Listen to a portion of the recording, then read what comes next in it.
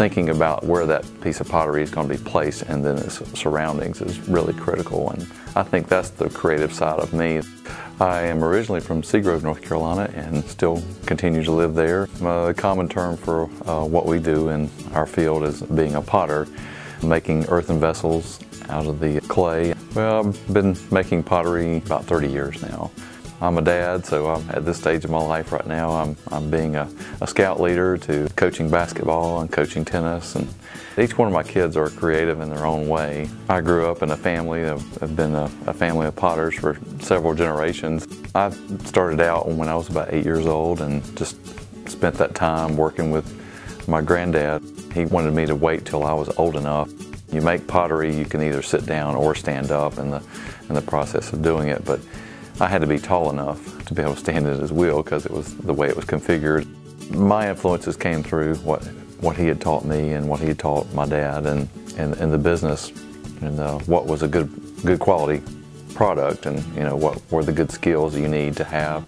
We use indigenous materials from our area. We actually own the property where we do obtain a lot of our materials from. Like any material, you have to uh, you have to find good material to work with. So the land that we have. The clay there we take and uh, we found in certain specific deposits there. There are actually five different distinctive clays on that property. Our forefathers would go out and dig it with a pickaxe and a shovel. Some of the colors are more expressive because they're fired actually in a, a wood burning kiln. You have such a wide range of uh, colors and effects. It's kind of a, a recipe for success or disaster when it comes to making the pieces. So you become somewhat of a scientist as well as a, an artistic endeavor to kind of put these all these things together like a performance. It's all the things behind the scenes that end up showing the end product.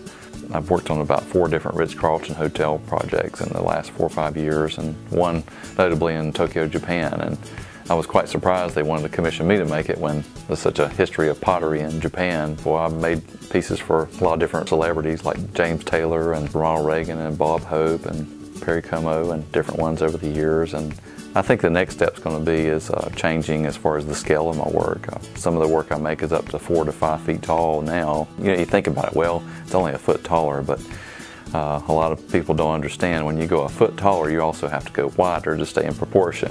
And you could be a continuation of things in the past, but it's just with a little different light to it, or a different way of wording it, or a different way of, you know, a, a poet or a writer saying something, or so it's uh, just a different way of expressing that I think that we build on that foundation. I think patience is the biggest thing for success and teaching people out there, especially in clay, is you're not going to get there overnight.